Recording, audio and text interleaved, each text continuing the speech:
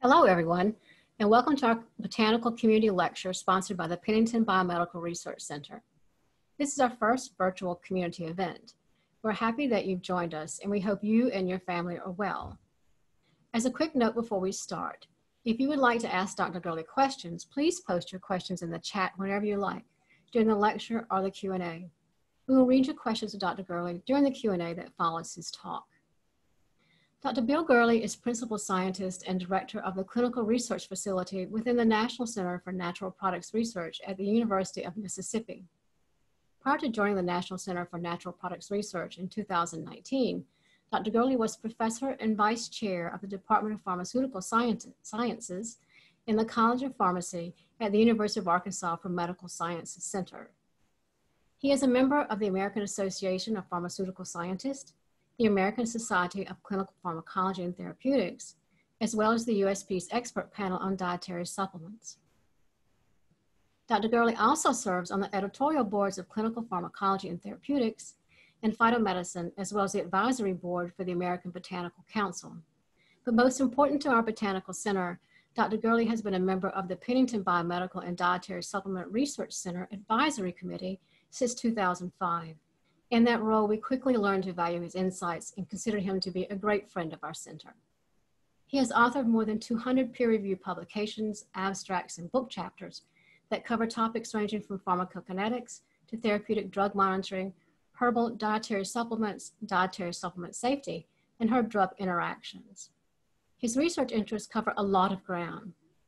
They include mechanisms of herb-drug interactions, toxicity of multiple component herbal dietary supplements, the effects of phytomedicines and chemicals on drug metabolizing enzymes, botanical supplement use in special populations, and even botanical, botanical remedies that were used in the Civil War medicine. His recent publications are exploring issues surrounding the use of CBD products. The topic of his talk this evening is hemp. Does it help? Is it hype? Can it hurt? Welcome, Dr. Gurley. So what's in a name? Uh, what's the difference between cannabis, marijuana, and hemp? Well, cannabis is the, gen- is the genus name of plant cannabis sativa. And both marijuana and hemp are cannabis, but they differ in their phytochemical content. Marijuana contains significant quantities of the psychoactive drug delta 9 tetrahydrocannabinol, also known as THC, and it contains more than 0.3% by weight for the definition of marijuana. Hemp, however, refers to cannabis varieties containing less than 0.3% THC by dry weight. Now, many of you may be quite familiar with the morphology of cannabis species. Uh, for those familiar with botany, you, you, can easily discern the two different general varieties of cannabis. You can clearly see the difference in morphology of the fiber type or industrial uh, cannabis variety on the left and then the drug type variety on the right. The fiber type has more exposed stalk, fewer leaves, and typically has low levels of the psychotropic drug THC. And again, THC, that's the material, the compound that, that gives you the euphoria, makes you high.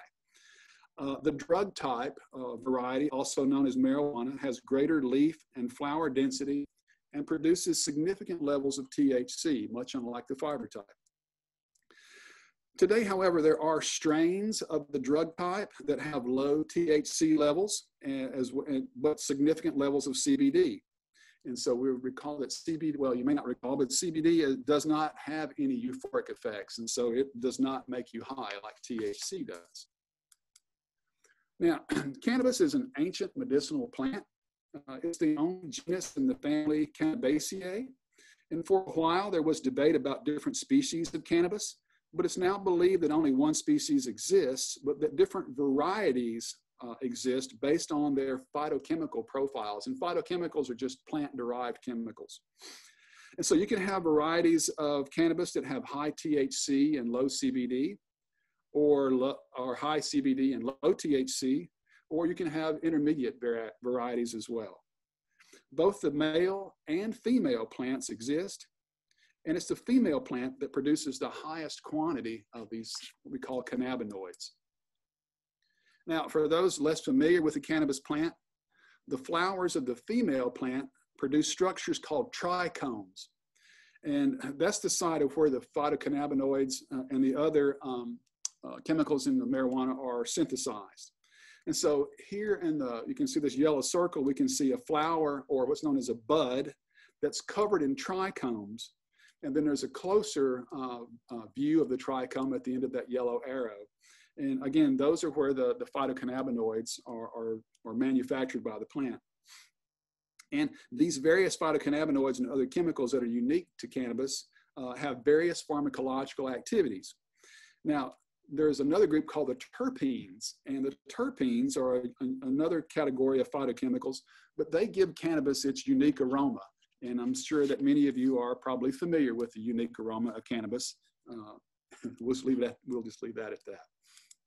All right, so I want to give a little chronology of the history of cannabis, uh, primarily as it's related to the United States. But uh, cannabis has a long history of medicinal use dating back to the ancient Chinese and Sumerians. But in the United States, early settlers often grew the fiber type hemp as a cash crop, mainly as a source for rope fiber. And you can see the fibrous material associated with the stalks in the lower left-hand corner of this figure. For almost 100 years, cannabis was listed in the United States Pharmacopoeia as a medicinal plant. And it was a common ingredient in patent medicines of the late 19th century and early 20th centuries. And by 1936, most states had already enacted some types of legislation regulating marijuana simply because of its euphoric properties. Things changed, however, in 1937 with passage of the Marijuana Act. And that made it illegal to possess or sell cannabis except for medicinal uses. Now, the Marijuana Act also required physicians and pharmacists who prescribed or dispensed marijuana to register with federal authorities and pay an annual tax or license fee. Well, as a matter of, because of that, the prescribing fell out of fashion uh, simply because they didn't want to have to deal with the extra hassle. Now, in the 1960s, the chemical structures of CBD and THC were identified. And then soon after, the National Institute of Drug Abuse, also known as NIDA, became the sole administrator of the federal contract to grow cannabis for research purposes. And it was the only legal source for cannabis in the United States. And it just so happened that the University of Mississippi was first contracted by NIDA and has been continuously contracted by NIDA since 1968, and where we grow several acres of cannabis depending upon the research demands of NIDA. I just want to say, just mention quickly that the University of Mississippi is home to one of the oldest and most advanced centers for cannabis research in the world.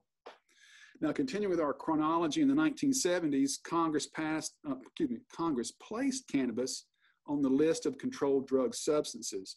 And then not long after that, a few states began to decriminalize marijuana. And then by the 1990s, five states and the District of Columbia legalized the medical use of marijuana. And then in the 2000s, a second wave of decriminalization came about and more states legalized marijuana for medicinal use. Currently, there are 16 states that have legalized marijuana, have legalized marijuana for its medicinal purposes. And then in 2012, Colorado and Washington actually legalized marijuana for recreational use. Now, coming up closer to, to the present, in, the, in December of 2018, the United States Agricultural Improvement Act, or also known as the Farm Bill, was passed.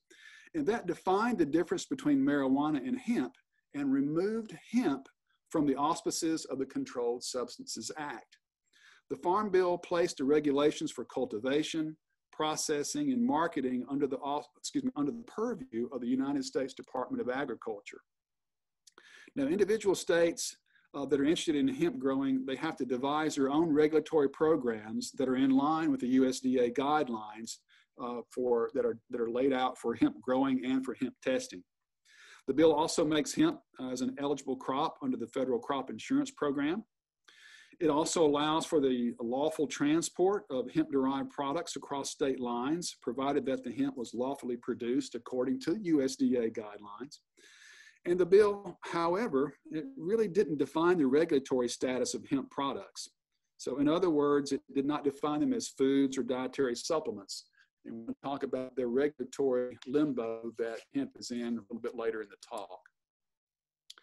Now, based on the myriad products currently on the market containing CBD, you would think that, I mean, we are literally inundated with uh, many, many, many types of uh, CBD containing products.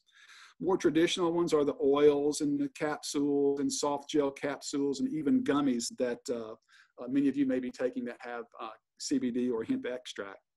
There are also some fairly exotic dosage forms out there, like hair gel that's infused with CBD, toothpicks infused with hemp, personal lubricants that may be infused with CBD, hand sanitizers with CBD, and even some, I've even seen some bed sheets that have been infused with CBD. I'm not sure what the purpose of that is, but nevertheless, maybe it'll make you sleep better. We'll see. Uh, of course, uh, many people uh, uh give CBD containing products to their pets, and that's a very, um, uh, very uh, highly popular market niche at the moment. But despite their seemingly ubiquitous distribution, the FDA does not legally recognize them in any official regulatory category at the moment. And again, we'll talk more about that later.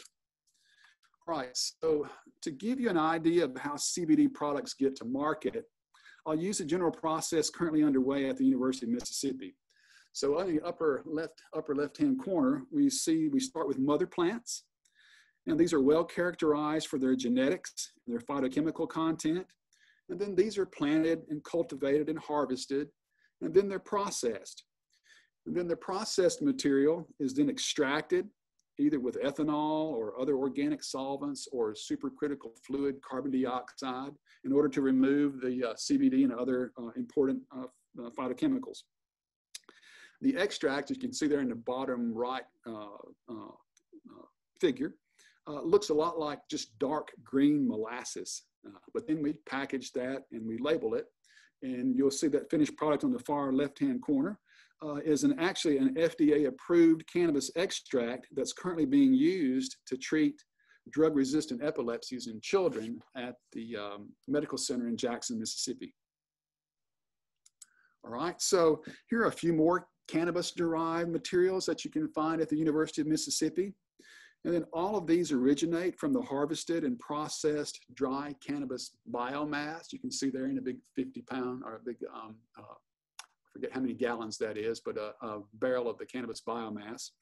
Um, you can also maybe uh, familiar with um, cannabis cigarettes, joints or doobies as you might want to call them. And of course, University of Mississippi makes all of these for the for NIDA for their research purposes. You may not be as familiar with purified CBD. There's some purified CBD crystals in the upper middle figure. To the right of that, some purified THC oil. And then um, at the bottom, is um, cannabis extract. And so it looks, again, looks more like tar than anything else, but uh, just wanted to show you some of these uh, sources of some of these materials that we're talking about. All right, with the large number of CBD uh, containing products that are on the market and the creativity of a lot of the labels, things can get a bit complicated for the typical consumer. There are several subtleties when it comes to the names and labeling of oil type products that are on the market. And so the terms in red here to the left are commonly used to convey that the product likely contains CBD. And I say likely because they may not always contain CBD. Terms like those in yellow are simply too vague to know what's in them, if anything. And then hemp seed oil does not contain CBD but rather it contains several fatty acids that are used uh, as uh, food components and, and, for cosmetic purposes. So I just want to throw out some of the terminology there with regards to the various types of oils that are out there on the market and their labels. All right, so continuing on, um, hemp seed oil. Uh, we'll fo focus on hemp seed oil for just a second.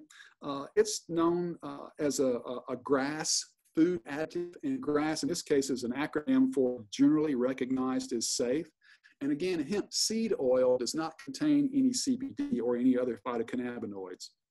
Um, now, terms like hemp CBD oil uh, can be a bit more vague, and it could be construed as either hemp seed oil, corn oil uh, with CBD, or it could be olive oil with pure CBD dissolved in it, or it could be a wide variety of things. The same holds true for names like cannabis oil, CBD oil, full spectrum CBD oil, and such. And so when, when purchasing a CBD oil product, there's a few questions you should probably ask yourself. And the first one is, you know, from what is this product prepared? Is it hemp seed? Is it hemp? Is it pure CBD? Um, what's the phytocannabinoid content? You know, how much CBD does it is it supposed to have? Do, does it have any THC? You may or may not know that just by looking at the label. What's the vehicle? We're finding out with some of our research that the vehicle can have a significant impact on the efficacy. So whether it's hemp seed oil, sesame oil, or olive oil. And then what's the intended use? You know, why do you want to use this particular product? And, and is there evidence out there to suggest that it might be helpful? All right, so continuing on with some more terminology, uh, I just want to define some of these because we're going to be using them throughout the talk. So a cannabinoid is a molecule that activates a unique set of receptors within the human body that regulate various physiological processes. Collectively, cannabinoids and their receptors, and then the enzymes that either synthesize or degrade them all constitute what's called the endocannabinoid system. Now, endo is a prefix for the word endogenous, and that just simply means produced within the body. So there are two principal endocannabinoids, primarily known as anandamide and then uh, 2-AG. 2-AG is just a, a, shorter version of the compound 2-arachidonoyl glycerol, so it's wonder why you call it 2-AG. Uh, and these, uh, both of these compounds can be formed in just about any cell types. They act upon the variety of, of cannabinoid receptors. Now, in, in contrast to endocannabinoids are phytocannabinoids, and the term, the prefix phyto just refers to the word plant. And so these are, are cannabinoids that come from, from cannabis plant. And that includes both THC and, uh, and CBD, as well as more than 100 other different phytocannabinoids. And these can also activate various receptors and modulate various um, cannabinoid uh, degrading enzymes. Now, it was during the search for for THC's mechanism of action, and then back in the 1980s, that led to the discovery of the cannabinoid receptor, and then eventually the endocannabinoids, and ultimately this whole endocannabinoid system. So, as I mentioned, cannabis is one of the most studied plants in medical sciences. Uh, there's a, you know, well over 10,000 papers published today. More than 500 phytoconstituents have been identified in cannabis, including more than 110 phytocannabinoids. Now, the chemical structures shown here to the left illustrate some of the more subtle differences between a few of the more recognized phytocannabinoids like CBD and THC, and then CBN, and TCHV, and CBG and CBC. There's all these are just acronyms for much larger, longer um, chemical names, but nevertheless, these are some more more common uh, phytocannabinoids that can be found in, in hemp. Now, uh, we'll find out that some of these small structural differences can give rise to significant pharmacological differences. Now, now, an important step in the generation of CBD or THC is that the plant material must be heated to convert what's called a precursor carboxylic acid to the car to the decarboxylated compounds like THC and CBD. So you'll notice that there's some these carboxylic acid moieties, they have to be removed and that's removed by heating, and that, that, that turns it into these decarboxylated uh, uh, compounds, primarily THC and CBD. And these, these carboxylic acid precursors are not nearly as active as their decarboxylated um, uh, products.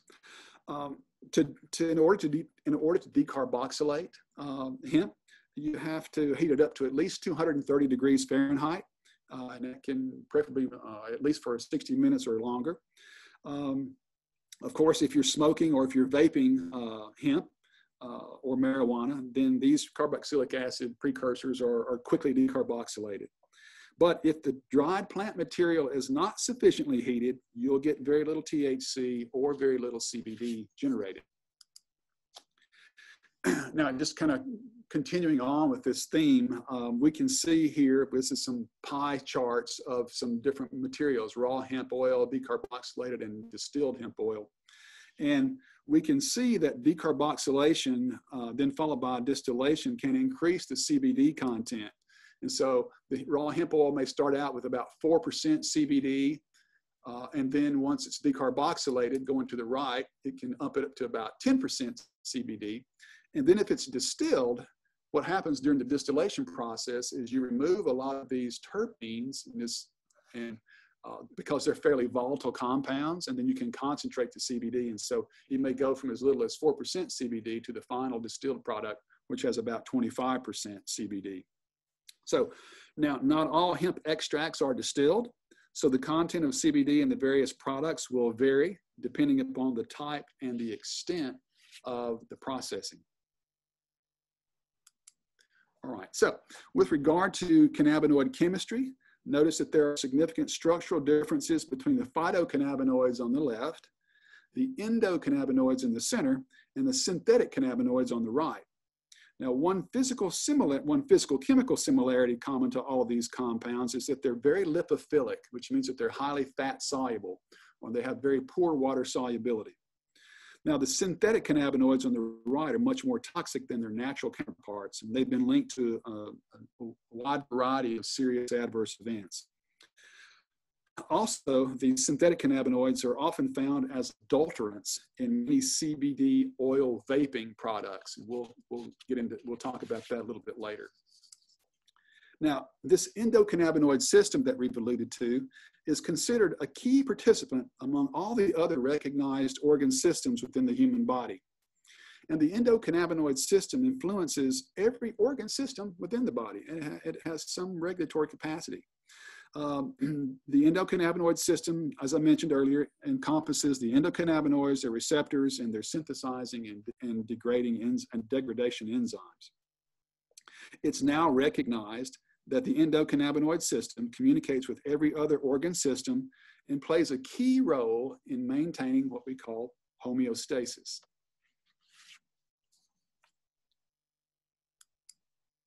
Now, this is just kind of a summary of the, of the basic components of the endocannabinoid system. Um, we'll see that apart from, uh, again, all this kind of came to, uh, to fruition uh, during the search during a, a, search for THC structure and its mechanism of action back in the 60s and then early into the 80s. Um, there are several receptors that can participate in the endocannabinoid system. The two most studied are the cannabinoid 1 receptor called CB1 and cannabinoid 2 receptor or CB2. And both of these are for the pharmacologists uh, in the audience tonight. These are G protein coupled receptors. Uh, then other uh, G protein coupled receptors that are important in the endocannabinoid system are one called GPR55, and there's another one called GPR18 and GPR19, and there's a few others.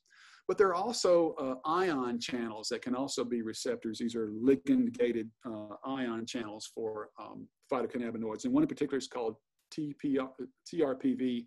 Uh, um, now, looking at the endogenous ligands or the endocannabinoids, the two most uh, common or two most well recognized are anandamide and 2-AG. And they're both ligands for the receptors, but they're also substrates for these uh, degradative enzymes. And so the, the production and then the elimination of endocannabinoids are controlled by these various enzymes.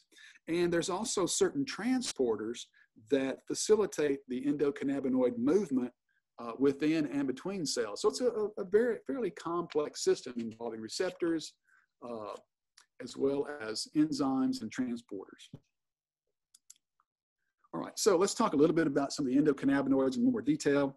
Uh, as I mentioned, anandamide or 2-AG are the two principal uh, endocannabinoids. They can both uh, activate CB1 and CB2 receptors, as well as a few others. Uh, they're synthesized from what we call phospholipids. These are fatty molecules that were in, in all of our cell membranes. And they, they happen to be um, derivatives of a compound called arachidonic acid. And that molecule serves as a backbone for a wide number of lipid mediators in the body. You may have heard of things like prostaglandins and leukotrienes, and all of these have their origins in arachidonic acid to some extent. Now, anandamide and 2-AG are primarily degraded by uh, uh, uh, these uh, enzymes. One is called hydrolase uh, uh, or a lipase. And so for, two, for anandamide, the principal degrading enzyme is called um, fatty acid amide hydrolase. And for 2-AG, the principal degrading enzyme is called monoacyl glycerol lipase or MAGL. Just leave it at that. Um, and then both of these endocannabinoids are transported by fatty acid binding proteins. right? And depending upon their synthesis and their degradation, the, the residence time for the endocannabinoids within the cell can be, can be very, very short. All right, so I just want to give you an idea of what some of these things look like and how they, and how they are synthesized and transported. All right, so let's talk about some of the receptors. So the, the cannabinoid receptors are found in almost every tissue throughout the body. The CB1 receptors are primarily concentrated in the central nervous system. And it just so happens that CB1 is the most abundant G protein coupled receptor in the brain. So I'll just do that out there for the pharmacologist. I think that's quite interesting. The CB2 receptors are found in various immune cells, but uh, they can also be found in other uh, tissues throughout the, the, the body as well. And together, CB1 and CB2 help maintain homeostasis. And that just simply means the process of maintaining optimal conditions for normal bodily functions. And so this cartoon, you can see the wide distribution of, of CB1 and CB2 receptors uh, throughout various uh, organs and tissues in the body. You can understand why there's so many, by looking at this, you can understand why there's so many uh, potential uses for CBD. Now, this is primarily for the pharmacologist and, and uh, healthcare professionals in the audience. I don't get I don't want to get too deep in the weeds, but this is a cartoon of two separate nerve synapses. And so quickly, the, um, the, the endocannabinoids are synthesized by membranes in what we call this postsynaptic membrane. And then they, they, they go to the surface of the, of the neuron cell and they, they're actually transported what we call in a retrograde fashion to the CB1 receptor in the, what's called the, the presynapse. And so once the, uh, the CB1 receptors and the, these presynaptic CB1 receptors are activated, they can, they can basically stop the release of various neurotransmitters. And they do that by affecting, by inhibiting certain calcium transporters. Again, I don't want to get into too much of the molecular uh, pharmacology of it, but they can affect both excitatory and inhibitory uh, neurons, and they can affect both excitatory and inhibitory neurotransmitter release. And again, without going into a lot of the gory details, uh, the molecular aspects of this, just consider the endocannabinoids acting kind of like a governor on an engine or the shut-off valve on a gas pump to keep your gas tank from overflowing that basically keeps things from getting out of control. And so, as I mentioned, they can control both excitatory and inhibitory neurons in the central and peripheral nervous systems, as well as other organs, uh, systems, and even the immune cells. And uh, again, they do this, by doing this, they allow the, they act as principal regulators of, of homeostasis uh, in the body. Now, focusing on the right side of this slide, you'll see depictions of two other cell types that are, that are in the brain primarily astrocytes and microglia, and they also have receptors for the endocannabinoids. And um, the astrocytes, uh, they have numerous functions within the brain. They help maintain normal brain function and basically keep the neurons working properly. Um, and, and, the roles that the endocannabinoids play in astrocytes is less, uh, is a little more unclear than it is in the other cell type known as microglia. And, the microglia, they're basically the immune cells of the central nervous system uh, and they're involved in modulating inflammatory responses in the brain. And so when these endocannabinoids like 2-AG or anandamide act on these receptors in the microglia, uh, they can uh, uh, block the release of what's called inflammatory cytokines. And so these microglia or many other immune cells, uh, one of the ways that they um, exacerbate an immune response or an inflammatory response is by releasing these, uh, these um, things called proteins called cytokines. And so the endocannabinoids can, can inhibit the release of those. And so this inflammation is a, a, a hallmark of many neurological ailments. Uh, and by blocking the release of these cytokines, they can uh, hopefully ameliorate some of the symptoms of diseases like um, multiple sclerosis or Alzheimer's or, or Parkinson's and the like. Now, really, really don't get freaked out over this one because this is for the biochemists that are in the audience. And um, all this does is just depicts the, the various cellular lipids that are involved either directly or indirectly in the in the endocannabinoid system. So you notice there's a, a kind of a, a, light brown area at the top and bottom of the slide, and that represents the cell membrane, and that white area in the middle is the, the interior of it all. So there's a lot of stuff going on there. These are primarily lipids. And so uh, all the colored boxes and arrows indicate molecules and pathways that are relevant to the endocannabinoid system within the cell. And so uh, you'll notice that you may have some arrows and those are basically uh, indicate activation. And you'll notice there are some other lines that look like elongated T's or they have a horizontal bar at the end. And those are situations where that particular lipid may inhibit that particular receptor. So you notice that there are certain type of receptors on the membranes and then uh, there's uh, various uh, mediators can activate or inhibit these uh, particular lipids uh, on these particular receptors. So what I want to do is just focus on the, the endocannabinoids that are in the red box here. And notice that uh, below that, they can activate CB1, CB2, as well as another one called TRPV1.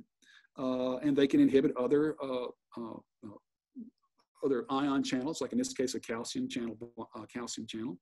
Uh, and then, but notice that THC uh, and CBD also activate these cannabinoid receptors.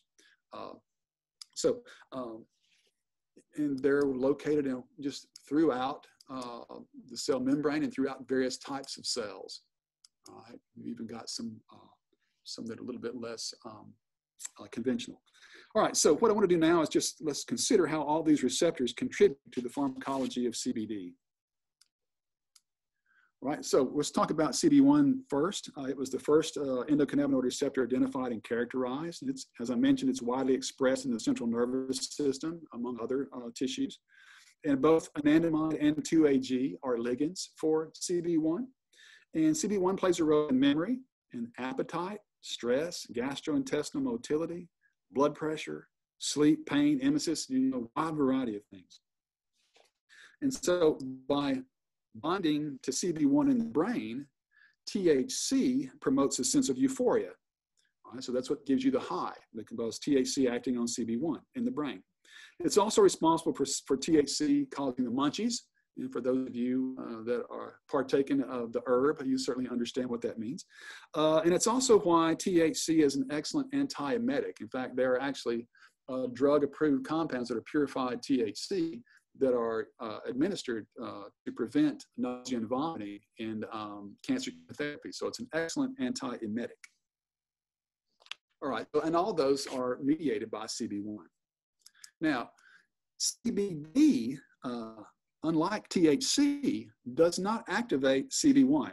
Now, technically, again, this is for the pharmacologists in the audience. It acts as what we call a negative allosteric modulator. Well, what the heck does that mean? Well, basically, it just means that in the presence of, CB, of CBD, the effect of the endocannabinoids at CB1 is dramatically diminished. They're not negated, but they're diminished. So in short, CB's, CBD's influence on CB1 is not as great as it may be at other receptors. And so the bottom line is that that's why CBD uh, doesn't make you high. Now, with regards to the second endocannabinoid receptor, CB2, uh, it's widely expressed in the immune system, as well as the brain and the gut and the peripheral nervous system. And its principal ligand is 2-AG. Uh, and then when, when it's activated, CBT, CB2 modulates various aspects of the immune response. It can certainly reduce inflammation, relieve pain, and even inhibit gut motility.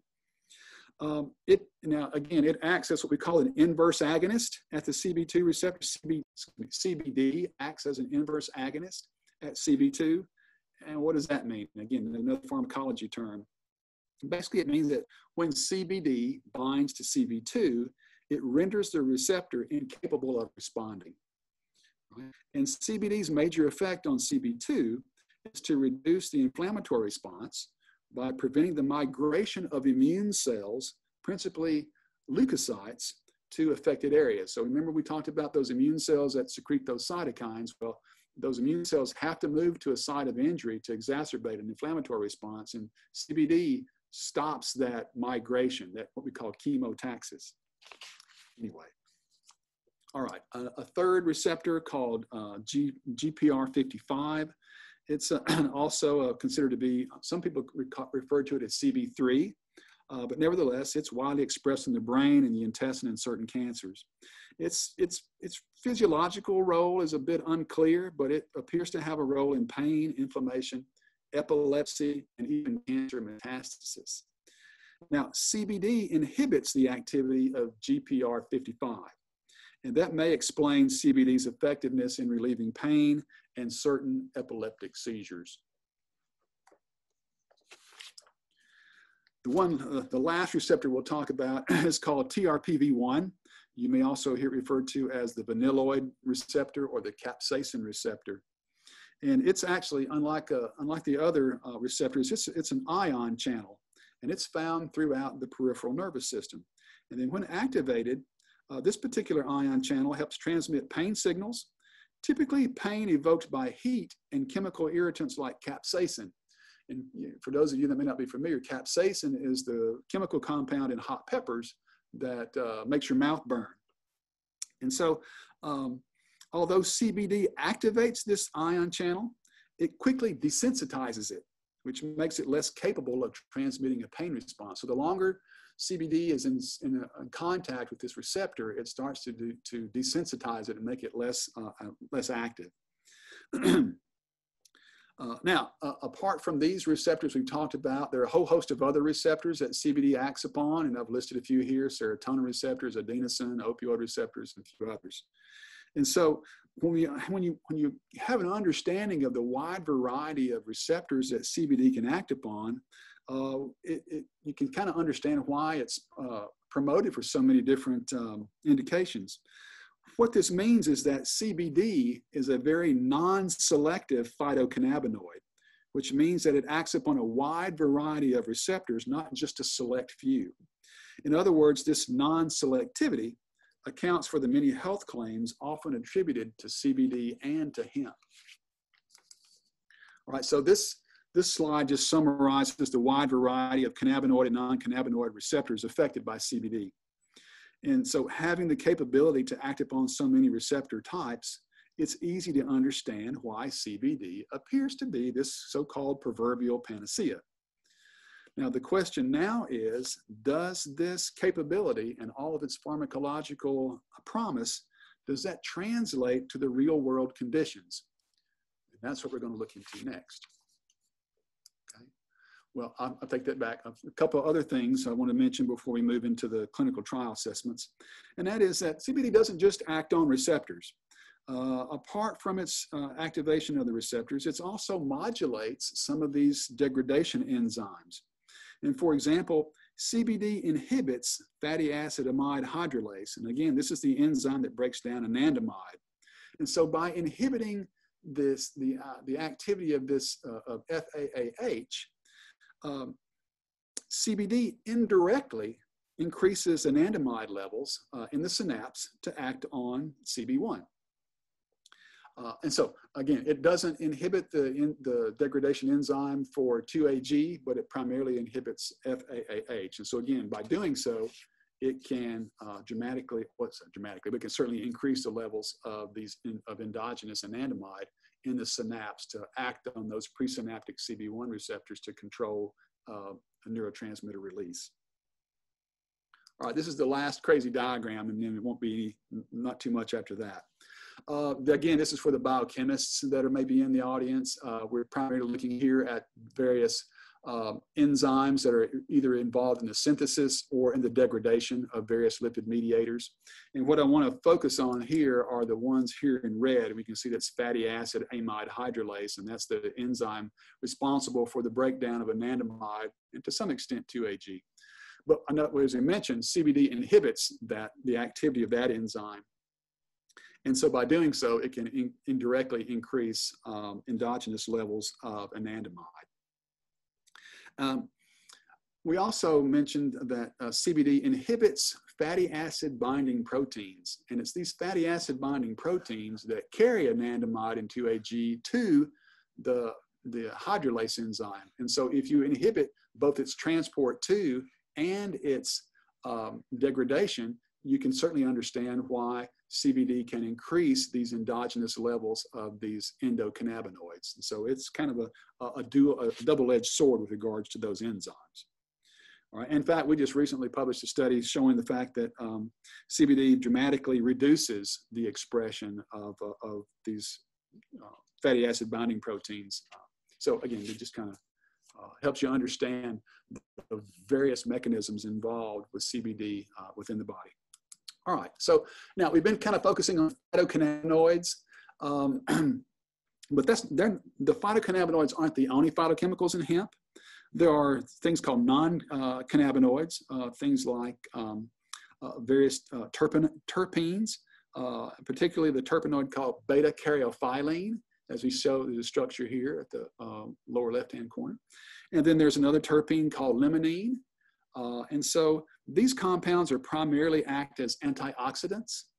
Uh, and these, what does that, what does that mean? Well, an antioxidant serves to neutralize a group of reactive compounds in cells called free radicals. And these free radicals oftentimes initiate and propagate inflammatory responses. And so as a result, antioxidants can mitigate inflammatory responses that are the hallmarks of many diseases. Now, that's all well and good. The question is how much of these terpenes and terpenoids can actually get to uh, the site where this, this inflammatory response may be uh, mediated. So um, we'll talk about why that may be a problem uh, a little bit later. All right. Now, hopefully you have a feel for the various types of phytochemicals that are found in hemp and maybe a, at least a cursory understanding of their pharmacology. So now I want to talk about some a, a few more terms. One called full spectrum hemp, as well as broad spectrum hemp. And so what do those terms actually mean? Well, full spectrum hemp is a hemp product that contains phytocannabinoids, including less than 0.3% THC, as well as a wide variety of terpenes, terpenoids, flavonoids, and other phytochemicals present in hemp. In other words, the product has the full spectrum of cannabis phytochemicals present. Now, broad spectrum hemp is simply full spectrum hemp without any THC. And of course, there are other products that may contain only purified CBD or purified versions of other phytocannabinoids like CBG and CBN. And so the purpose of using a full or broad spectrum product is that the complex mixture of phytochemicals, coupled with their varied pharmacological properties, can provide a benefit that we call the entourage effect. In other words, these complex phytochemical mixtures give you more pharmacological bang for your buck. now, given the wide variety of receptors that CBD appears to be able to modulate, it's no wonder that a wide variety of diseases and maladies may benefit from CBD. And this is just a, a list of some of the promising areas of CBD therapy. Um, you know, it can help anxiety, inflammatory conditions, pain, uh, perhaps in diabetes with regards to glucose tolerance and insulin sensitivity, may have some anti-cancer effects. Uh, appears to have some antioxidant effects, can modulate the immune system, may help you breathe better with regards to its effects on the, the lungs. Um, but you know there are some researchers that suspect that this there's a thing called an endocannabinoid deficiency syndrome and that that might underlie many diseases as the basal levels of many endocannabinoids are oftentimes disrupted in a wide variety of diseases like post-traumatic stress disorder or migraine or fibromyalgia and such course, that's not the only factor involved in disease etiology. Uh, and, and, just because your endocannabinoids are disrupted doesn't mean that's causing the disease. But nevertheless, this endocannabinoid deficiency syndrome is an interesting hypothesis that certainly merits further investigation. Now, from all the available research, it certainly would appear that CBD is the proverbial panacea. However, there are a host of issues that can affect whether the bench research in CBD's mechanisms of action translates into efficacy when these things are ingested as commercially available products. Now, based on what we know about CBD and hemp pharmacology, it's no wonder that these products claim to be functioning as anticonvulsants, neuroprotectants, analgesics, anti-cancer agents, anti-anxiety agents, antipsychotics, antidiabetic agents, and so on and so forth. The big question is how effective is hemp and CBD? what clinical evidence is out there that can back up these various claims? So what I want to do next is kind of go through some of the clinical trial results that have looked at CBD and hemp in various uh, disease states. All right, so To date, there are more than 600 clinical trials that have been registered with the federal government investigating the effectiveness of phytocannabinoids. Most of these involve either THC or THC and CBD combinations. However, there are a large number of clinical trials that involve just CBD or hemp. Uh, and these are just some of the some of the conditions that are currently under investigation uh, for the utility of, of hemp and CBD. And so what I want to do next is just review the results of several of these clinical trials that are aimed at assessing the, uh, the efficacy of hemp and CBD in these particular disease states. Now, it's well established that CBD is effective in treating certain drug resistant epilepsies particularly a group of epilepsies known as Dravet syndrome or Dravet syndrome and Lennox-Gastaut syndrome. And actually, and actually, there's a purified CBD product called Epidiolex that was approved by the FDA in 2018, and it's been approved to treat uh, Dravet syndrome and Lennox-Gastaut. Now, to date, there have been more than 25 randomized clinical trial, randomized controlled clinical trials that have demonstrated the efficacy of Epidiolex in reducing the frequency and the severity of seizures in this particular patient population. Now, the doses required to do this are oftentimes quite large and are usually much greater than might be attainable from commercially available non-drug products that contain CBD. now, there was a small clinical trial investigating the efficacy of CBD in treating Parkinson's disease, and they used both a low and high dose of CBD for six weeks. But CBD was no different than placebo in affecting the Unified Parkinson's Disease Rating Scale. So, unlike epilepsy, at least in this small trial, it didn't appear to be efficacious in uh, Parkinson's. Now, another neurodegenerative disease, uh, multiple sclerosis, there is an approved drug combination that has 50% THC and 50% CBD called Bixamols. The, the trade name is Sativex. And Sativex has been approved uh, in the United Kingdom, uh, and it's used actually in the United Kingdom to treat spasticity in multiple sclerosis. And spasticity is just simply a, an inability to, to move your, your muscles in a, in a voluntary fashion. Um, Many of these randomized controlled clinical trials with Sativex uh, have been shown to improve spasticity, excuse me, spasticity, as well as neuropathic pain in, in multiple sclerosis patients. And clearly the efficacy is likely due to both THC and CBD. Now, as I mentioned, uh, Sativex has been approved as a drug in the UK, but it has yet to be approved here in the United States. I know that I know it's currently undergoing the approval process, but uh, it hasn't been approved as of yet. All right, uh, with kind of looking at some psychiatric diseases indications, uh, there was a published trial of CBD effectiveness in 36 patients with schizophrenia uh, using 600 milligrams for six weeks.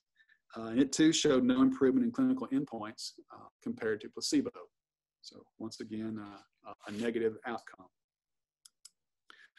With anxiety, there was a small study of 12 subjects that had generalized anxiety disorder, and they were administered 600 milligrams of CBD prior to preparing for a videotaped public speaking event. And no, I didn't take any CBD before my talk this, this, this evening, but probably should have.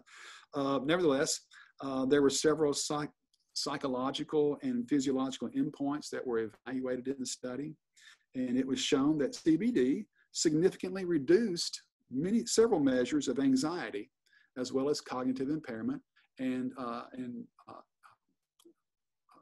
and measures for discomfort in speech performance and so um, uh, so that again so that was a positive outcome for cbd in this small study looking at its effects on anxiety uh, autism spectrum disorder, there was one small study. They really didn't look at efficacy here. This was primarily more of a proof of concept. So they had uh, they administered Epidiolex uh, to 17 patients with autism spectrum disorder, and they looked at um, neurotransmitter uh, balances. And so they looked primarily at glutamate and another neurotransmitter called GABA. And um, they found that CBD significantly decreased GABA levels in those with autism spectrum disorder, uh, but they didn't uh, look at the effects of multiple doses or whether or not it actually had any efficacy uh, after multiple doses in, in autism. But nevertheless, it was a, an interesting proof of principle study to show that CBD does appear to modulate uh, the, um, these particular neurotransmitters. And so that, that's in line with its pharmacology. With regards to fibromyalgia, which is probably a lot of people are taking CBD for fibromyalgia, there was one small trial in 20 patients that had fibromyalgia. But it was, they found no improvement in clinical pain endpoints compared to placebo when CBD was administered uh, via inhalation. So they vaporized it uh, and then inhaled the CBD, but there was no improvement in the clinical endpoints with regards to fibromyalgia. Another, another study involved with pain. Uh, there are 94 patients taking opioids for chronic pain were administered a CBD-rich hemp extract for eight weeks. And at the end of eight weeks, CBD demonstrated no significant effect on any of the pain indices. However, 50% of the subjects did reduce their opioid use by studies in. So that may be a, a, a, certainly can be construed as a positive outcome. With regards to cancer pain, there have been three randomized trials, uh, clinical trials evaluating the effect of various doses of nabiximols, or this is Sativex, on the cancer-associated pain in more than 400 subjects. And again, they found no significant improvement in any of the pain scores when compared to placebo. Moving to some GI disorders, uh, a study with 29 patients with ulcerative colitis received 250 milligrams of a CBD-rich hemp extract twice daily for eight weeks. And again, and the extract was no better than placebo on the percentage of patients who went into remission at the study's end. So again, another negative finding with regards to GI issues. Another GI uh, study uh, looking at Crohn's disease. Uh, 19 patients were self-administered five milligrams of CBD under the tongue twice daily for eight weeks. And again, much like the ulcerative colitis study, there was no difference between CBD and placebo on the uh, Crohn's disease activity index. Okay, so another negative finding. This is an interesting study I wanted to include, uh, and it examines uh, what's called inflammation-induced gut hyperpermeability. What does that mean? Uh, basically, it referred to it as a leaky gut. so the study was to see whether or not CBD could minimize the uh, uh, aspirin's ability to promote gut leakiness. And so aspirin is well known to cause localized uh, gastrointestinal irritation, and they can certainly increase the permeability in the gut. And so a leaky gut is common to several gastrointestinal diseases, and that can also have uh, some, some untoward systemic effects. And so what they did is they evaluated the appearance of two large, uh, and I say large meaning molecular weight, large molecular weight sugars that, uh, have, that are usually poorly absorbed uh, when you take them orally. But if they appear in the urine, then it means they're getting across the, uh, the, the, um, the gut mucosa. And so the more, you, the more of these two sugars that appear in the urine, the more leaky the gut is. And so that's a way to assess the permeability of the gut wall. And they found that over six hours, CBD significantly reduced this inflammation induced gut permeability. So it may be a way to uh, uh, in, influence uh, this leaky gut syndrome. With regard to diabetes, probably one of the more important uh, disease states that we're concerned with. Uh, again, one small study of 13 subjects that had type 2 diabetes were given 100 milligrams of Epidiolex twice daily for 13 weeks. 35 primary and secondary endpoints were evaluated, and after the 13 week period, CBD had no effect on any of the endpoints uh, at that time. So, again, another negative finding. With regards to intraocular pressure, there was an, this was a study looking at, so again, a small study, assessing the sublingual phytocannabinoid administration on ocular hypertension in six patients with early open angle glaucoma. And they found that five milligrams of THC reduced intraocular pressure after two hours, whereas 20 milligrams of CBD had no effect but 40 milligrams of CBD actually increased intraocular pressure. So that would not be a good finding if you're having glaucoma. So that may be a, an indicator not to utilize CBD for individuals that have glaucoma. THC, on the other hand, may have some benefit. This is the most recent study that, that was published actually this week. Uh, and it's a study of a commercially available hemp extract formulation. And they looked at 39 different measures of either body composition, blood chemistries, or psychometric measurements. But in all of those various uh, indices that they evaluated, only high density lipoprotein cholesterol was significantly improved after six weeks. Now, there were some psychometric indices like perceived sleep and perceived stress relief and perceived life pleasure that were positively impacted, but the only one that was statistically significant was a, a slight increase in HDL cholesterol, which is not a bad thing, but uh, a wide variety of other things were not affected by that particular small dose of CBD. All right, to kind of summarize, uh, when we look at all these published randomized controlled clinical trials together, it's clear that the drugs Epidiolex or Sativex uh, do have efficacy in treating drug-resistant epilepsy as well as multiple sclerosis. Now, a small number of clinical trials did show efficacy for uh, hemp or CBD in either anxiety, uh, gut inflammation, or the reduction of opioid use, but the vast majority of the studies found CBD to be no better than placebo. So why is there such disparity in the clinical trial findings? And do other factors influence the clinical trial results? Well, the short answer to that second question is a resounding yes. Now, one of the most important factors that can influence the effectiveness of CBD is the fact that only about 6% of a CBD oral dose is actually absorbed. And so again, this is because CBD has very poor water solubility. So the best way to improve CBD absorption is to take it with meals, especially meals that have a high fat content. And so the, the diagram to the right uh, looks at the effects of either food or, or uh, taking, excuse me, taking uh, CBD in either a fasted state or in a fed state. And the fed state is a, has a, a fairly high uh, fat content in the meal. And so the, the blue squares in line basically is basically an assessment of CBD levels in the blood over a 72 hour period after they took uh, a 1500 milligram dose of CBD in the fasted state. And then the green circles in line represents the, the concentrations of CBD in the blood after they took it uh, with a meal that had a high fat content. Now, if you look at the two areas under each of those curves, uh, that may not look like they're all that different. But what you have to realize is that the y-axis of that graph is a logarithmic scale so they're actually quite different. There's a huge difference in the areas under those curves. And so the fatty meal uh, increased the, the absorption or what we call the bioavailability of CBD by about a factor of five. now, also notice looking at these curves, the peak concentrations occur around four to five hours. So that's about how long it takes for CBD to be absorbed in many instances. And uh, it stays around for a long time. It has what we call a fairly long half-life which means you don't have to administer it as often. But when you do administer it fairly frequently, the, the drug the, or the CBD accumulates uh, in the body uh, quite readily.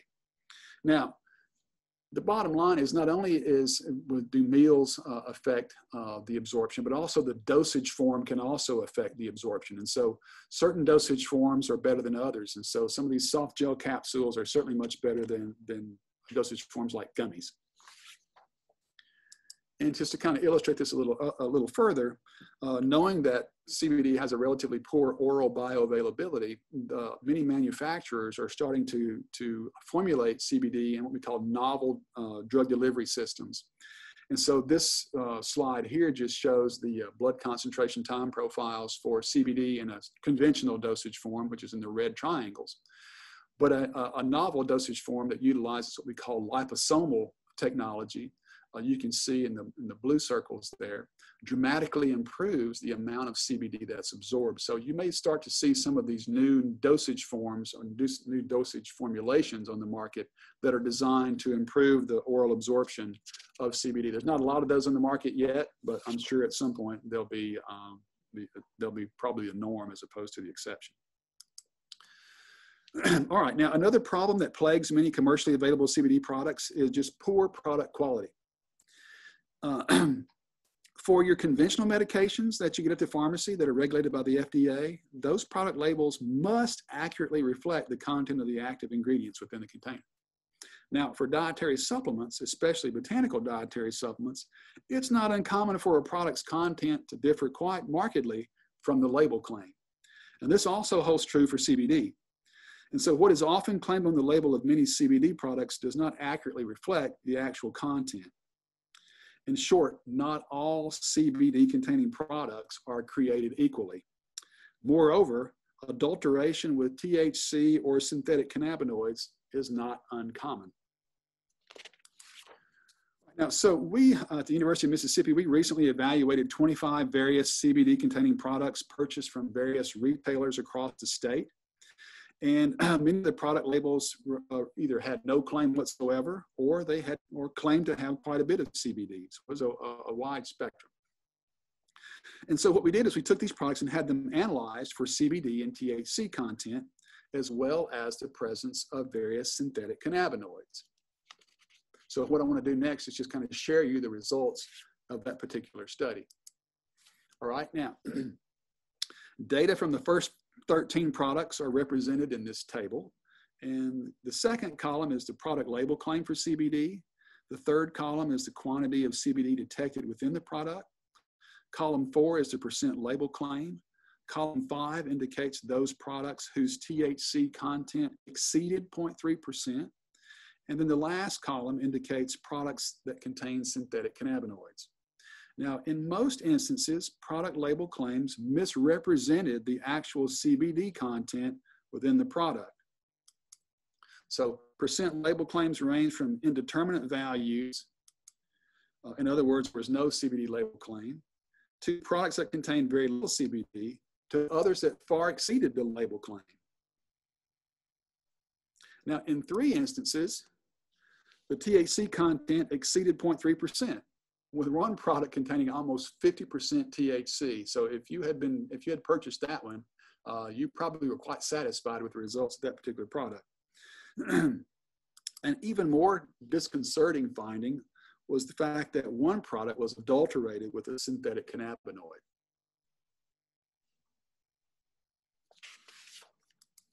The second table depicts the results of the next 12 products.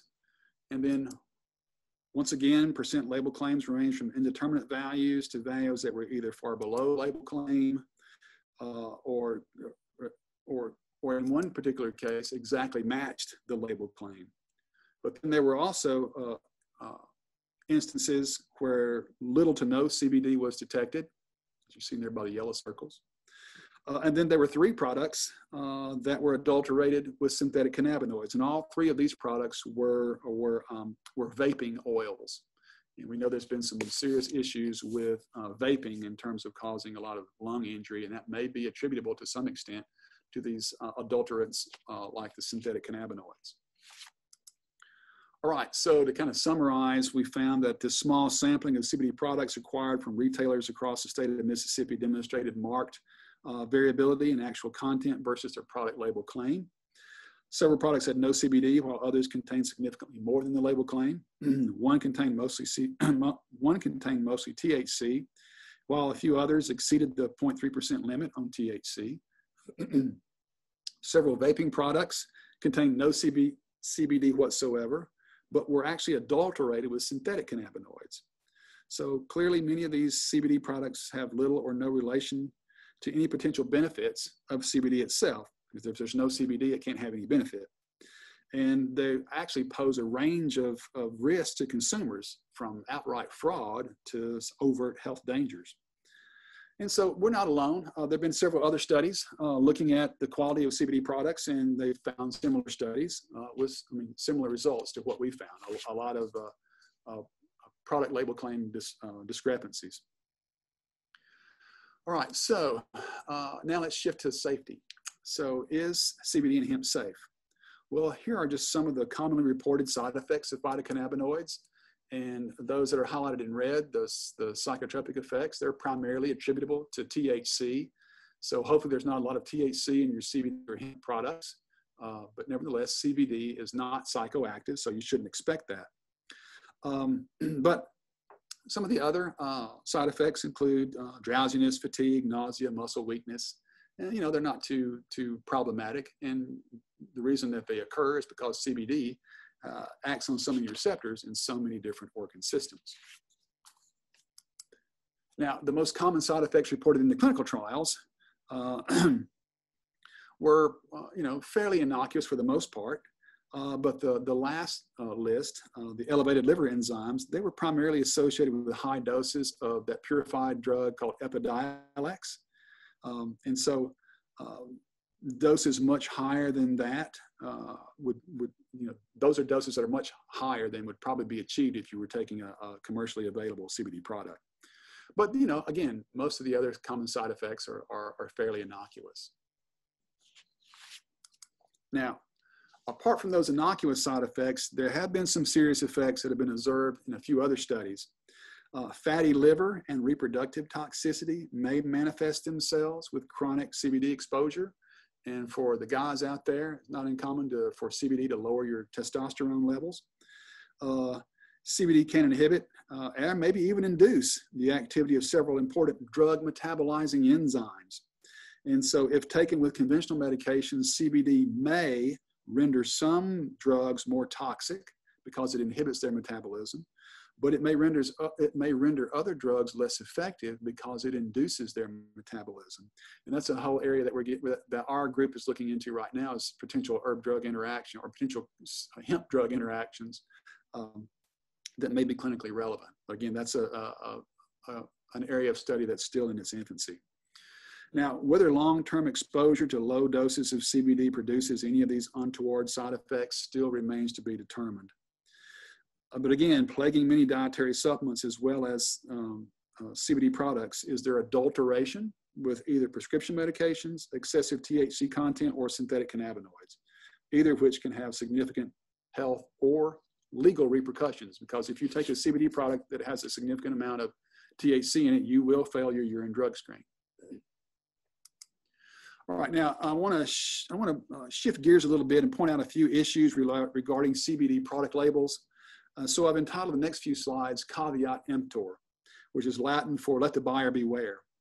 And so consumers can easily be fooled by CBD product labels, uh, as we've typically seen with our, our, our analysis study we just talked about. And so this particular product says CBD clinic, and you might think that it contains CBD, uh, but you would be mistaken because the product does not contain CBD, but rather it contains menthol and camphor. So you can certainly feel the effects of menthol and camphor, uh, but you, you, might assume that there's CBD in the product, but it only comes from the CBD clinic. this particular uh, CBD containing cream makes a drug claim for pain relief. So you can see right, boldly on the face there is pain relief cream, but it also says uh, has long lasting pain relief. Well, the, uh, the FDA is not like these drug claims on, on things like dietary supplements or CBD. And so um, those types of products are typically you will, these companies will receive a nasty letter from the FDA. Uh, and then uh, if they don't respond, uh, then they'll, the FDA will take these products uh, off the market. And that has been done in many instances. Um, this particular, uh, excuse me, uh, this particular product here is, uh, I'm sorry, let me back up here. This particular product is a legitimate product. It contains virgin hemp seed oil, but you have to remember that hemp seed oil does not contain CBD, so don't be expecting you to have any effects from CBD from hemp seed oil. So I just wanted to throw that out there. A lot of people get confused by that. now, this particular product here is not making any drug claims on its label. However, it does claim that the product is a dietary supplement. And CBD has not yet been deemed a dietary supplement by the FDA. And if you're, for those of you in the audience that may not know the exact definition of a dietary supplement, it's basically a product other than tobacco that's added to the total diet that contains at least one of the following can be a vitamin, a mineral, an herb, a botanical, an amino acid, a metabolite, an extract, or any combination of those. So it's a very broad encompassing definition. In the term extract there, you might think, well, hey, hemp extract falls under that, but uh, technically it doesn't, and we'll talk about that a little bit, uh, a little bit later. Um, also notice uh, in their lower right-hand corner that the label displays a good manufacturing practices seal. And oftentimes that conveys that the product is of good quality, but not always. It depends upon what organization is actually sponsoring the seal. So despite being sold on shelves and online, CBD dietary supplements and foods containing CBD are still not legal according to the FDA. The FDA's primary reasoning for why CBD can't be a legal dietary supplement ingredient is that before CBD was ever sold as a dietary supplement, it was first publicly researched as an investigational new drug. And that new drug is Epidiolex. And that was, uh, uh, and that's uh, basically um, sold by GW Pharmaceuticals from the UK. But it's also here in, in the United States. now, this means that under the food, the Federal Food, Drug, and Cosmetic Acts, they have a thing called the IND exclusion clause. And that clause renders CBD ineligible to meet the definition of a dietary supplement. Now, when we're talking about foods, foods cannot be adulterated with prescription drugs. And so if the FDA views CBD as a drug, then you can't add it to foods legally because the FDA would consider that an adulterated product. Now, the 2020 spending bill that President Trump signed this past December requires that the FDA update Congress on its progress in developing a policy for the, enforce, for the enforcement of uh, discretion regarding CBD. Uh, and the FDA's policy has been submitted to the Office of Management and Budget, but that's about all we know at this time. We don't know any details about the policy. At least I'm not aware of any details. So in short, the regulatory status of CBD is still in is still in limbo. And so, will it become a dietary supplement, or will it be assigned a unique category on its own? Uh, we'll just have to uh, stay tuned to find out. So, hopefully, we'll have some idea as to what its regulatory status will be by the end of the year. All right. So, to conclude, what's the final verdict on hemp? Does it help? Uh, perhaps if the right product, the right dose, and the right conditions are met. Is it hype? Well, it certainly can be, unless quality products are utilized. And even then, the proper dose remains to be determined for most indications. Can it hurt? Well, this too appears to be product specific and dependent upon the dose, the duration of usage, and the concomitant use with other medications. So with that, I will conclude. Hopefully I haven't gone too far over the, uh, my, my allotted time, and I'll be happy to answer any questions you might have. Thank you, Bill. We have quite a few questions actually. Um, so let's see. Do you want to turn on your video, Bill? Yeah, I'll do that. Great. So um, I'll start with one here. Uh, the question is, with so much variation in the actual content of CBD in retail products, what practical advice can you provide to avoid buying adulterated CBD products? That's that's an excellent question. I get that a lot. So my first response to this is never buy your CBD products from your local gas station. Right? You're setting yourself up for disappointment when you do that. Uh, uh, but I will say this. I will share something as another slide I, I want to put in. I get this quite a bit, and um, it's it's it's not it's not an easy task to find out which products may have um, what's actually uh, in the product, what's actually claimed on the label. And so there is a, a, nice uh, website to go to. Uh, I use it quite a bit, not only for CBD, but also for a wide variety of dietary supplements, and that's consumerlab.com. And what consumerlab.com does is that they evaluate not only dietary supplements, but in this case, CBD and, and hemp products for, they, they compare what's on the label and they analyze the product to, for uh, content. In this particular case, CBD or THC or any contaminants like heavy metals. And so you can go on C, uh, consumerlab.com's website. Um, if you have a if you have a subscription to it, it's a. I mean, if you're interested in these kinds of things, whether it's uh, cannabis or CBD or any dietary supplements, I think the annual subscription to Consumer Labs is like 12 bucks a year. So it's, it's, it's pretty cheap, but a lot of times you can get the, you can get this data just right off the bat, just going to the website. Uh, and then you can click on the click on the tab for CBD, uh, and it will take you to that particular uh, site on their website. And they've analyzed quite a few products, uh, both oral as well as uh, topical, and even some vaping products, if I, if I recall correctly. And so uh, there are quite a few products on there, and it gives you the, the nice thing about CB, the nice thing about consumerlabs.com is that they tell you the name of the product, you know, who makes it, and then they, they tell you what the label claim was and what they found in their analysis. And so there's quite a few products on there in the most recent list uh, that have passed muster. Uh, so it can tell you, but there's so many products out there on the market, it's extremely difficult to, to wade through all of them. But this is a nice little uh, place to start. Uh, there, there's probably other websites out there that are uh, uh, sponsored by either uh, cannabis linked companies, or there may be some independent sites like others besides consumerlab.com. But that can kind of that can give you some ideas as to which products to at least start with, purchase. Uh, it also tells you, it also shows you some products that, like ours, uh, failed to um, failed to meet muster, failed to live up to the the label claim. And some, as we found, some have extra THC, some have other contaminants. So um, that's the that's the best place. Uh, at least that's a good place to start. So, Bill, I get the impression that, that the USDA or whomever it is that can regulates labeling yeah. on products FDA, yeah. hasn't stepped in here. So there's really no regulation on labeling of any of these products. Well, I mean, yeah, that's a, we're in a as I mentioned, we're right now we're kind of in a regulatory limbo. Uh, the FDA uh, has taken a you know there was quite a bit of pressure from um, various constituents uh, and to, uh, to Congress to make FDA make a decision on how they're going to handle hemp from a regulatory status. And so that process is, I mean, they have come up with a policy and they've, they're submitting it to be, you know, approved and so on and so forth. But I don't know what the results of that policy are at the moment, but by the end of the year, we should know. And so will they regulate CBD as a dietary supplement? Uh, they could very well. Will they regulate it as some unique uh, category by itself? That's possible.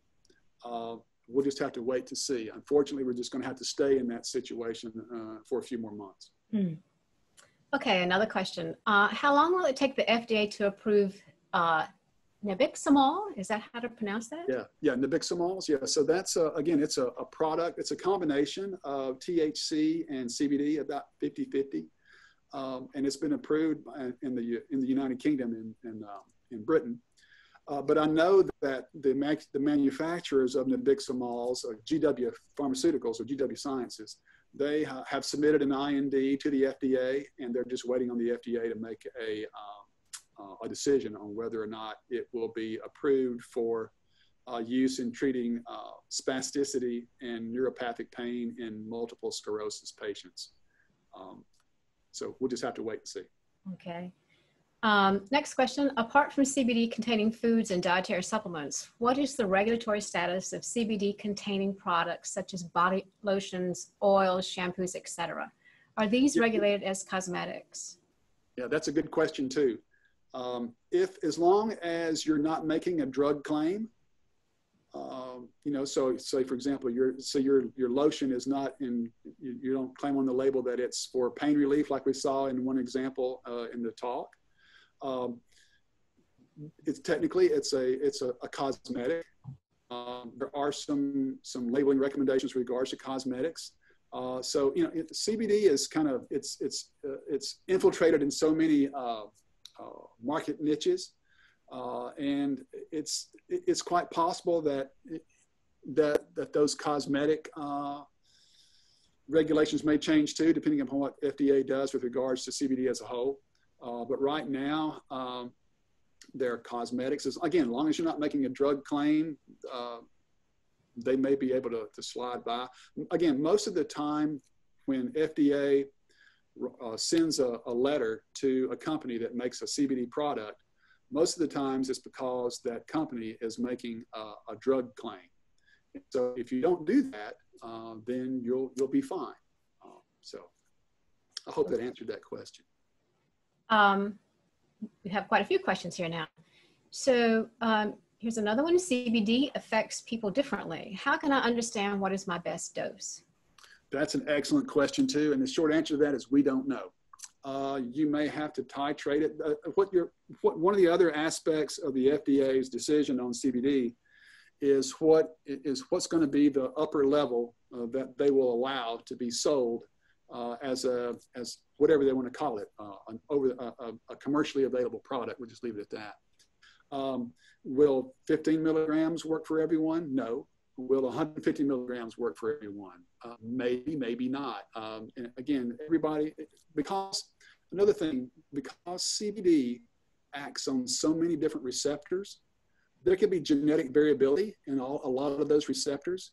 And so some individuals may be more susceptible to CBD's effects, positive or negative, uh, and some will be less effective, and may not have any effects whatsoever. So there's a lot of variables that come into play. That's one of the problems with having a, a, a compound that's non-selective. It affects so many different receptors. You have, there's just a lot of variability that can come into play. Um, so I wish I could say that, yeah, this particular dose is going to be effective for everyone. Uh, we don't know. We don't, one, we don't know what the FDA is going to be considered as a safe drug. We do know that in those studies that have used fairly large doses of CBD in these um, uh, uh, epilepsy patients uh, that have Dravet or uh, Lennox-Gastaut syndrome, um, it's not uncommon for them to see elevated liver enzymes, but oftentimes these are fairly large doses. When I say fairly large, I mean in the neighborhood of more than 500 milligrams multiple times a day. Uh, so, uh, so that could be an issue. But what, what we really don't know is even if even at a low dose that may not have any overt toxicity, are there any long-term effects that we, that need to be uh, considered? And we don't really don't know much about the safety and or efficacy of CBD products that are low doses for long-term use. So I wish I could be more specific in answering your question. Uh, we just we we're still too early in the in the game to really answer that particular one. Okay, the next question. Um, if you take thyroid and blood pressure medicines, would it be dangerous to take CBD products as a supplement? That's an excellent question. It depends upon how your um, blood pressure medications are metabolized. Uh, again, that's still uh, an area that uh, there's some evidence to suggest that um, CBD might affect the uh, metabolism uh, of certain medications. And if your high blood pressure medication, uh, if it's a, a, metabolized extensively by the liver, uh, it might render it more toxic or less toxic. most of the blood pressure medications have what we call a, a large therapeutic window.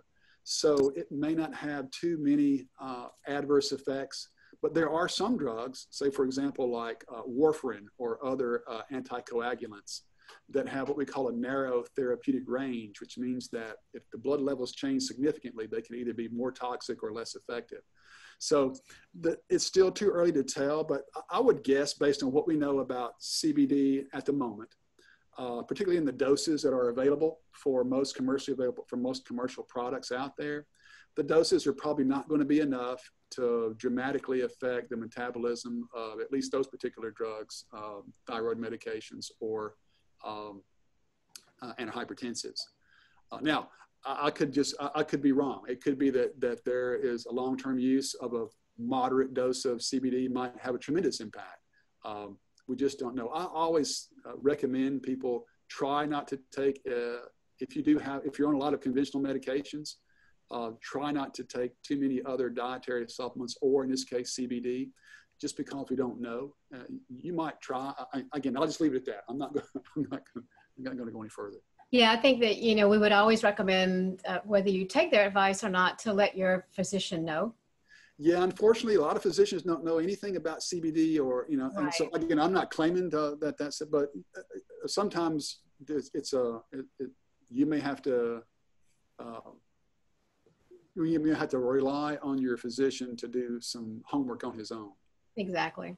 Exactly. Again, it's just, it's still, there's just, we're still, we're still so early in the game and we know a lot about, we know a lot about THC, but we really don't know a tremendous amount about CBD in terms of safety and efficacy and long-term effects and so on and so forth.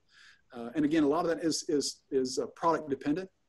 So um, uh, again, most of these answers to your questions are kind of nebulous because we're just in a situation where it's almost, we're too early in the game. We're, when the game just started, I can't tell you what the score is going to be and how it's going to turn out. Yeah. Um, all right, next question. So a lot of people take arachidonic acids uh, as dietary supplements. And so the question is, does a high exogenous intake of arachidonic acid or any of these other types of fatty acids impact uh, the endocannabinoids or receptors that may alter THC or CBD? Yeah, that's a great question. Yeah. And that's an excellent question. And, and, you know, and on its face, it seems like it would be, you know, hey, if you take some arachidonic acid, then that might help my endocannabinoid levels and that may help me overall. And so um, the question is, how much of the arachidonic acid is absorbed uh, and then how much of it uh, actually reaches uh, these sites to be converted into the endocannabinoids? And the answer to that is very little. So um, uh, do the arachidonic acid supplements, do they have a, a, a lot of efficacy? Uh, the jury's still out on those. Um, from a um, from a hypothetical uh, perspective, you would think that would be a, a, good thing. But there are a lot of other factors that come into play that may render the amount of arachidonic acid actually reaching the cell to be uh, uh, affected by these um, synthesizing enzymes pretty insignificant. So I, I wouldn't, I, I, based on what we know, I don't think that that's probably going to be a, have a significant impact on your endocannabinoid levels. I guess a related question, uh, what oil is the best medium for delivery of CBD? Oh, that's a great question too. Um, so there are some, so we're finding some interesting results with um, various oils. A, uh, people think that oftentimes that the, the vehicle, the oil, uh, has no pharmacological uh, uh, impact. Uh, we're finding that certain oils, uh, when they're taken for prolonged periods of time, can actually have some interesting effects on drug metabolizing enzymes and transporters and wide variety of other proteins. And so, the to me, the two best, well, I'll, just tell you the, the, the three primary um, oils that are utilized most often are hemp seed oil, olive oil, and sesame oil. And we're finding some interesting results with sesame oil. Uh, some of those are very positive. Uh, so to me, if I was going to take a, supp- a CBD supplement that had an oil, I would probably lean towards the sesame oil uh, because it has some interesting beneficial effects as well. But it doesn't mean that uh, one's uh, is one going to make this CBD work any better or not? Uh, hard to say. But um, if it was me, when I when I buy a CBD oil product, I typically look at either. It also depends upon the quality of the product too. You could have a, a great oil and the product be really, you know, crappy for lack of a better word. Um, but uh, my personal uh, choice would be sesame oil. But that doesn't mean that sesame oil is a heck of a lot better than olive oil or um, uh, or hemp seed oil. Here's a question. Uh, from someone who says they suffer from acute anxiety. And so, can you recommend any form of CBD or THC that might be useful for treating anxieties or, I guess, other uh, behavioral type issues? Yes. So, you know, we, well, I, I know I went through a lot of those results of those clinical trials pretty quickly. Uh, but there was, um, if, if I can, anyway, um, so again, it's all product specific. So uh, if I recall the, um, uh, the quantity of, of CBD that was in that, um, that they used in that trial for anxiety was relatively small. Um, and so, you know, it was one of the few trials that did have some, some, some positive outcomes with regards to anxiety, at least, at least if you're preparing for a talk. Um, so again, if I was that individual, I would find a, go on some of these websites, um, find a product that uh, appears to pass muster, uh, and then you know follow the label directions and just see if that has some some effect. Uh, so I can't say that it's going to help with your anxiety because there are a whole host of factors that come into, you know, I, am not a, I'm not a, a, psychiatrist or a psychologist or any of those things, but uh, it's certainly worth a try. I mean, uh, based on what we've seen so far with the doses that were utilized in that particular trial, there were no adverse side effects, uh, hardly any side effects whatsoever, except the fact that people were seen to be less anxious. So uh, if with these with these doses and these products that are on the market, if you can find a, a product that actually, uh, say for example, there may be one on ConsumerLab.com that uh, has passed their test, and so the label claim meets what's actually in the product, give it a shot and see. Uh, I do not do not you know if you don't get any effects right off the bat, don't start taking you know uh, multiple multiple doses over a period of time that may be doing more harm. That may make that may actually make you more anxious than less anxious. Mm-hmm. So, uh, so find a product that you think might be uh, quality, uh, and and follow directions and and see, um, but don't but don't uh, exceed the dosing recommendations that are on the label. Um, is there any evidence that men and women are affected differently from CBD products? That's a great question too.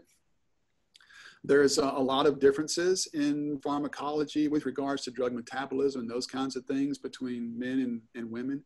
I uh, don't think there's been a study looking at that at the moment, but just based on what we know about um, drugs in general or, or phytochemicals in general, I wouldn't be surprised.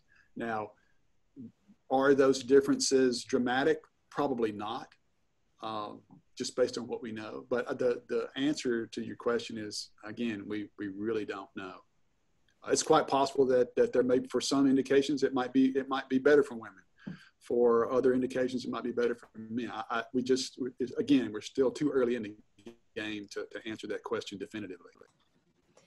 And so there were some different routes of administration. I get the impression that dosing it orally seems to be the best way to do that with some oil. So not sublingual or not inhaling it, but oral.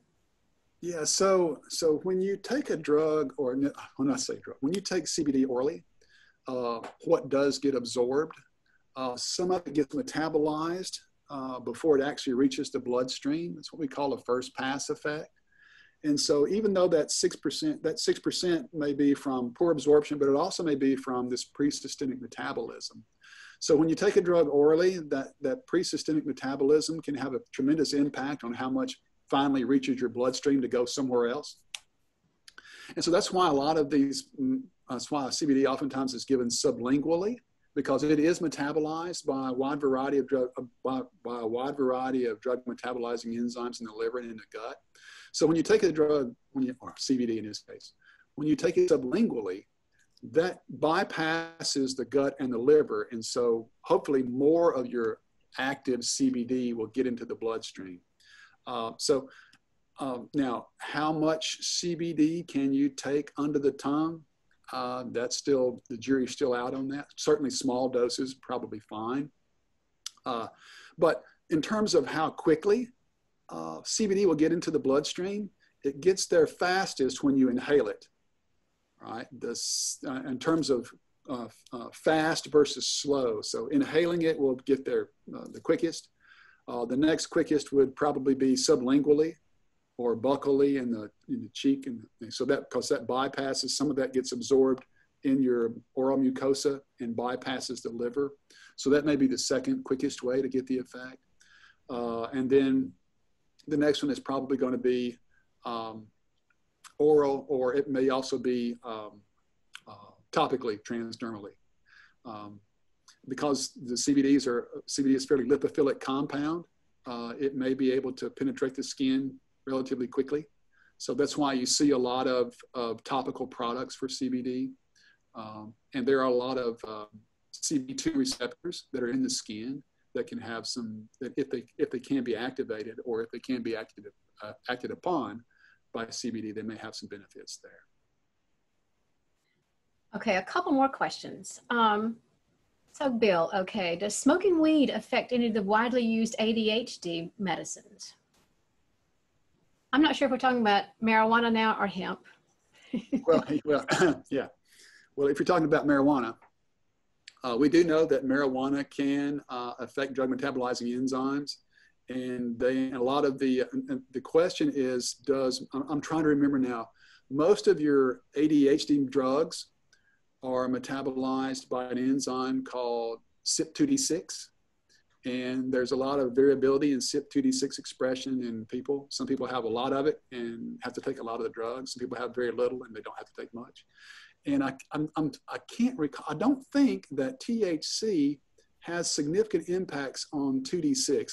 I, may be wrong on that, but I know it has some impact on uh, uh, an enzyme called 2C19 and 2C9 and 3A4. Um, so it's, I, I, it's possible, but I, I, don't think it's going to have a significant uh, effect. And also, a lot of that depends upon how much THC you actually get into your system to affect those enzymes. And when you're smoking it, because when you smoke uh, when you smoke marijuana and THC, it doesn't take much to get it through your get into your bloodstream uh, through your lungs, and so it doesn't take much to give you an effect. Um, and so, because you have a small quantity in your systemic circulation, that may not be enough to affect these drug metabolizing enzymes if you smoke it. Now, if you smoke a lot of it all the time, all day, you know, um, that's a different animal. But uh, um, occasionally, um, if you smoke it, um, I don't think that's going to be a significant issue. Again, at the end of the day, as with all compounds, whether they're uh, phytochemicals or whether they're drugs or food or whatever, the, the, old, uh, the old adage, the poison is in the dose. Uh, and so that that pretty much holds true for whether you're smoking marijuana or not. So the last question sort of goes to this uh, issue that you've touched on a bit. You know that we are sort of in the wild west and no understanding exactly dosing and how to use all of these products properly. And so the question here is, um, and have I lost the question? But what the person wants to know is what, how is the state of research for these sorts of products, and are there impediments to going forward with the research at the federal level? You know, what are the state of things of learning more about uh, hemp products? Yeah, so there's a lot of um, uh, there's a lot of uh, grants that have been submitted to the NIH and to other uh, federal agencies, federal funding agencies, to look into various aspects of CBD pharmacology and quality and so on and so forth. Um, and so uh, I can't uh, I can't tell you exactly how many of these have been funded, but I know there have been a few that have been funded that appear to be, will probably, if they're, if they're conducted and completed, will contribute significantly to the scientific information. Um, in terms of impediments, it all depends upon how well the grant's written and what you're doing. When you're doing, uh, uh, when you're when you're submitting a grant regarding CBD or hemp to a funding agency, uh, it's actually it's it, it, I can tell you this that unless you have that product that you intend to study well characterized and know every little phytochemical and every little nuance associated with it, uh, it won't get funded. Uh, so you have to have the capabilities to analyze your product, what we call characterize the material uh, in terms from a phytochemical perspective, as well as from an adulterant perspective. Uh, so one of the first, one of the one of the big um, uh, uh, stumbling blocks that I've seen, having sat on many NIH study sections, is that if the material is not well characterized, it won't get funded. So that's that. In that case, that's the problem of the of the of the principal investigator that's submitting the grant and not necessarily the funding agency itself. But those are criteria. And the funding agencies out there, I know that the NCCIH and many of the other um, agencies at the NIH, they have pretty strict rules with regards to knowing exactly what it is you're going to study. Because again, uh, plants are uh, have multiple phytochemicals, and a lot of factors can affect that. Where it's grown, how it's grown, what condition it's grown under, uh, the time of the day it's harvested sometimes can have a tremendous impact on that. So there's a lot of variabilities that come into play. So uh, again, if someone wants to wants to uh, submit a grant uh, for CBD or for, um, for hemp, particularly hemp, uh, you need to have it well characterized. Um, there may be some other, uh, you know, for the longest time, the biggest stumbling block was the fact that it was a controlled substance. And you couldn't really, you had to, you know, go through, uh, jump through a tremendous number of hoops uh, to the, NI, to the NIDA to get uh, a license to actually do research on hemp or CBD, but that's not, that's no longer the case. And so there's certainly been a large, a large number of um, grants submitted uh, to, to, to look into various aspects of, of hemp and CBD pharmacology. So it's no, the, the impediment, is, in, the bar is much lower now than it used to be in terms of being able to navigate the, the federal bureaucracy, so to speak. Um, so I think that's it for the questions. Bill, thank you so much. This was really great. I know I've learned a whole lot. It was a lot of Again, I, I apologize for kind of getting into the weeds with the pharmacology and the biochemistry and stuff. But uh, again, you kind of, I don't know. It's just, I mean, as a as a as a pharmacologist and a professor, you know, that's kind of just that's just that's in your genes, you know, so to speak. But uh, but you, it's it's fascinating how many uh, receptors and how and how many systems this endocannabinoid system controls. And so with CBD and the phytocannabinoids that can modulate that, it's it's hopefully uh, if if nothing else, I hope I got across to the audience that the reason there are so many claims out there for CBD is because it works on so many systems, it affects so many systems, and so. But there are formulation and there are a whole host of other factors that can can blow a lot of those expectations out of the water and so that's why it's important for consumers to try to do their homework and try to find a, a, a product that um, I, I, I, hesitate to mention particular companies names here uh, on this uh, but if someone wants is really really interested in a particular product I can certainly give them my opinion on it. Um, there are some really good companies out there, and there are some absolute trash companies out there too. So you really have to do your homework, and that's why I wanted to give you that consumerlab.com um, site to go to. But there, are, I'm sure there are others. Uh, but uh, I know I know the consumerlab.com guys really well, and I trust what they put on their website. Great. That's great advice then. And I want to remind everyone who's still on with us that uh, when you register for this seminar, you also can go to the Pennington Facebook page for Pennington Biomedical Research, and we've recorded uh, Bill's lecture, and so you can listen to it later. So it will be available to you there as well. So I want to tell everyone thank you for staying with us. Uh, we really appreciate it for our first virtual uh, lecture, and um, have a good evening. So good night, everyone.